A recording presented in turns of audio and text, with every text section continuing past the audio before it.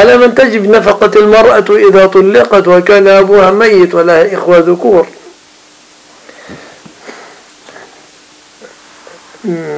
هذه مسألة آه، بعد بعد تطليقها على من آه، إذا كانت عاجزة عن العمل فأهلها أهلها يكفلونها أقرباؤها الذكور يعني قبل الزواج يجب على الوالد أن ينفق عليها. يجب على الوالد أن ينفق عليها حتى عقد النكاح. بعد عقد النكاح رفعت النفقة عنها.